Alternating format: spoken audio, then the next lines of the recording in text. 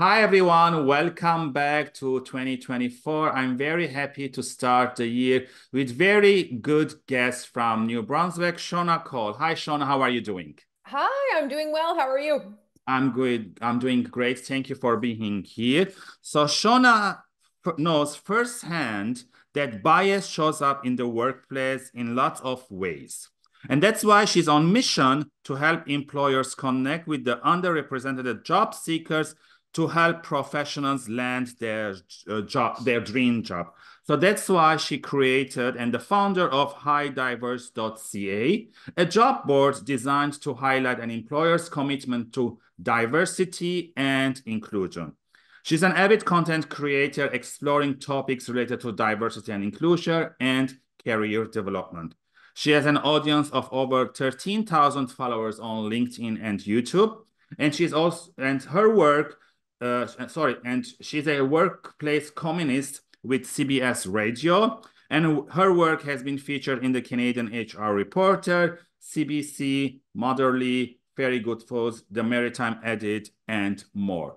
So Shauna, let's start with you. The first question is, so we are in 2024.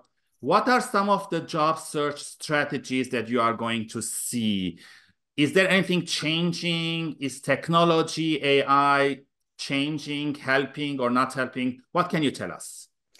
Yeah, so I mean, AI has definitely changed uh, changed the job search yeah. in a lot of ways, and can bring big advantages to well, really recruiters and and job seekers alike, right? Yeah. Um, so I, I think if you're if you're looking for work right now and not leveraging AI, that's probably a mistake. Mm-hmm. Um, I, I do think though sometimes we'll put kind of all of our faith or expectation in AI to a fault. Yeah. So it can be really, really useful to help you craft like some specific pieces of a resume, some specific emails, and so on. Mm-hmm. But I wouldn't just leave it to AI. You know what I mean? Like get AI to help you write this. exactly. Exactly. It's like get AI to do like that first go around to get things started, maybe create an outline. It can be really useful for that but um but it's really important that you as the job seeker take the time to add your unique voice and yes. story to it i don't know about you but i can almost like you when you're reading well anything now for that yeah. for that matter like you can kind of you feel the ai in yeah, it if, if there isn't the personal touch words are like mm, not much like you know the words and the way it's good but it's like very i don't want to say sophisticated but it's like very good rhythm yeah, yeah. And and it's it's it obviously lacks a certain amount of humanity. So like in, in terms of in terms of trends, I think AI is a trend that job seekers should mm-hmm. definitely um, hop on and use this tool, use these tools to help you write your resume and cover letter and emails and all those yeah. things.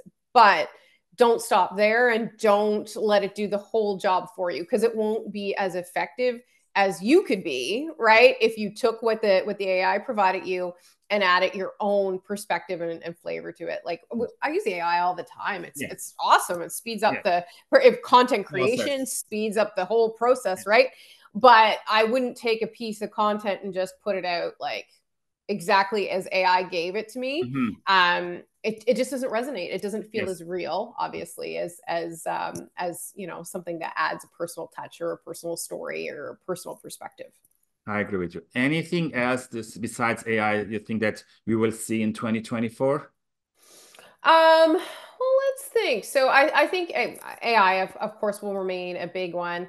I don't know. I see like, do you notice too a lot of um, uh, a lot of career coaches really pushing towards like this um, like volume application process? Like the, the, there's there's uh, there's this really um, evident change on, on mm. LinkedIn in particular, where I'm seeing career coaches pushing services where it's like a volume application. So uh, use my service and I can get out, you know, 200 resumes and applications uh, for, for your job search. Hmm. And I feel like people are like, oh, that's awesome. You know, I can get out all these resumes. Um, but I, I think it can be hugely useful in some circumstances. But again, I would say kind of proceed with caution for any of these um, volume application mm-hmm. processes mm-hmm. and services that you're seeing online.